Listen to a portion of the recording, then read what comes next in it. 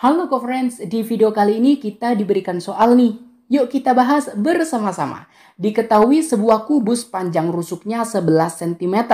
Luas permukaan kubus tersebut adalah berapa cm? Nah, di sini ada kesalahan soal nih co-friends bahwa di sini harusnya adalah cm persegi nih co-friends. Itu adalah satuan dari luas permukaan. Nah, di sini diketahui kubusnya di mana rusuknya itu yang ini nih co-friends. Rusuknya itu 11 cm di mana untuk mencari luas permukaan kubus adalah 6 kali rusuk kali rusuk. Rusuknya 11 cm, jadi luas permukaannya adalah 6 kali 11 kali 11. Di mana 6 kali 11 adalah 66, kemudian 66 kita kalikan dengan 11 hasilnya adalah 726.